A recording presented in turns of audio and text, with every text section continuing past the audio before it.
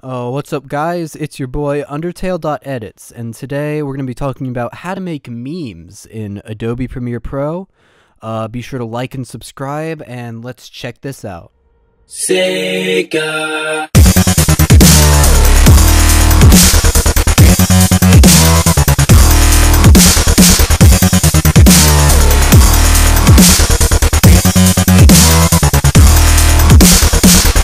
So, I know there's already a lot of videos on YouTube claiming that they can teach you how to edit in 4 hours, or 30 minutes, or 20 minutes, or whatever they're claiming. But the reality of it is, uh, it's not that complicated, and really you can learn everything you need to know in under 5 minutes. So, first, we're just going to look at what not to do while you're editing. Ladies and gentlemen, boys and girls, welcome back! My name is Nadia Sands. And this, of course, is Learn How to Edit Stuff. Very excited about today's video. You know why? Because it's the first video in an installment of videos that I am calling Meme Editing 101. Because there's nothing more enjoyable to me than looking through all the comments on all of my videos and just seeing the word meme everywhere. It's just kind of everywhere. Everyone's like, dude, memes, more memes, can we get more memes? So, as you can clearly see, this man has gone completely insane and has lost all perception of reality. All right, guys, I've got Premiere open and down on my timeline, I have the clip that you saw at the very beginning of this video, but there are no effects on it. Now, you could do it like this guy and go in keyframe by keyframe for every little thing and be a complete nerd. Or you could get up here with the big boys and do it the right way. So the first thing you're going to want to do is just review your footage, make sure it's exactly what you want to use for your meme, and just make sure you pick out something that you think has a lot of memeable potential. So uh, I'm going to play my clip here. Do memes, more memes, can we get more memes?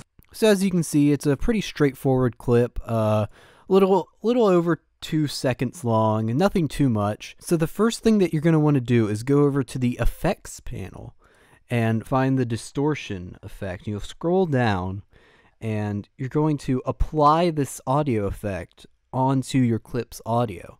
And what that is going to do is actually going to make your audio sound really funny. So once you apply the effect to your audio, you're going to want to go over to the effects control panel, scroll down and go over where it says edit by the distortion. So this screen is going to pop up. Uh, you can actually adjust this to fit your uh, gaming monitor's preferences. So I'm just going to put it over here for right now. So then you'll go over here, you see where it says presets. So they have a bunch of different presets. Uh, and you can kind of actually customize these yourself by sort of messing around with the positives and negatives and sort of just bending them around, making them sound funny, but that's a little too much work and it doesn't really sound as funny as the presets they already have.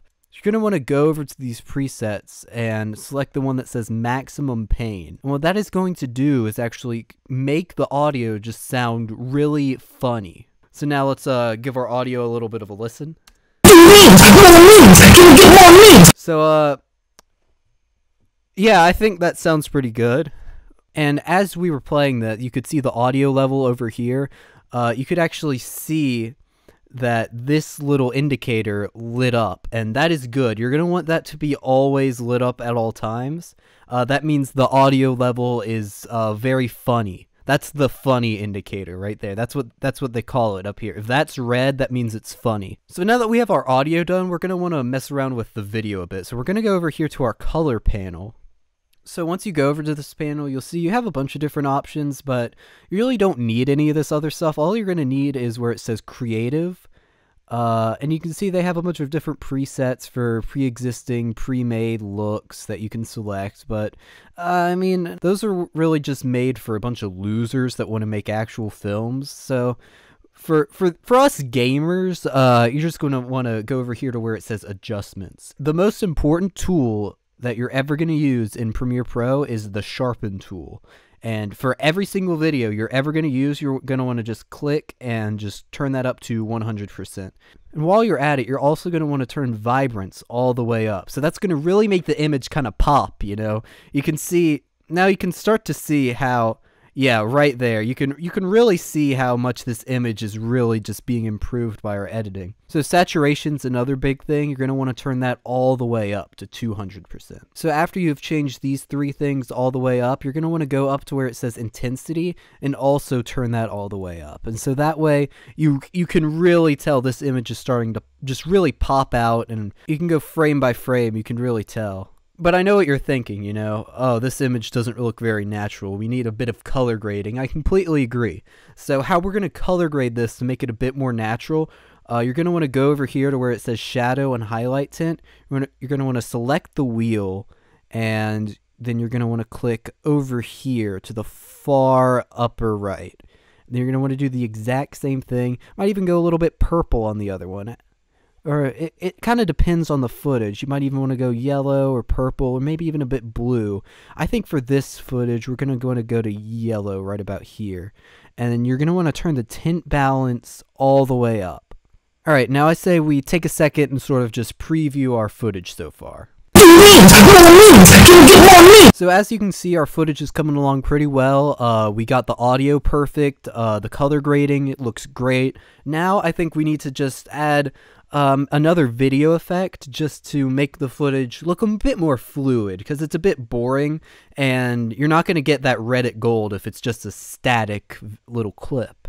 So we're going to go over here to our effects panel. We're going to apply the turbulent displace effect onto our video. And you're going to want to go over here and to where it says displacement, you're going to select bulge. And then we are going to do a bit of keyframing. I know, I know. But don't worry, we're not being nerds about it. We're going to do it the fun way. So you're going to click toggle animation for amount. You're going to put that over there and select an add another keyframe and add it just to 100. So what that is going to do is that is going to animate our footage just a bit so it's a bit bit more it's going to increase our bulge. It's going to increase the bulge from 50 to 100. So now let's just check that out.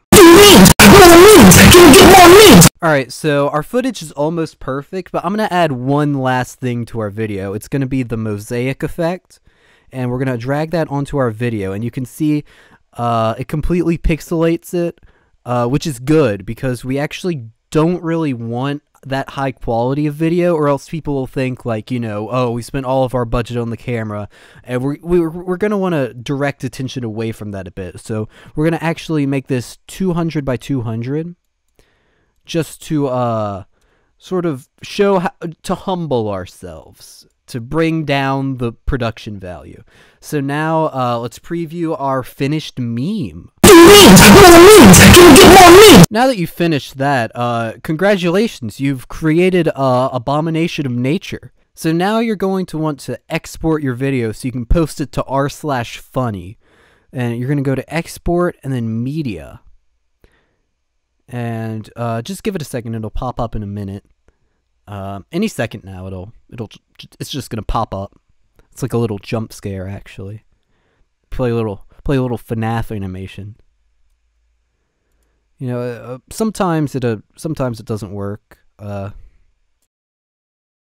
all right, it took a little bit, but I finally got the export screen to come up. So you're gonna want to make sure the output name is uh, something that you uh, you'll remember. And then after that, you uh, download Sony Vegas.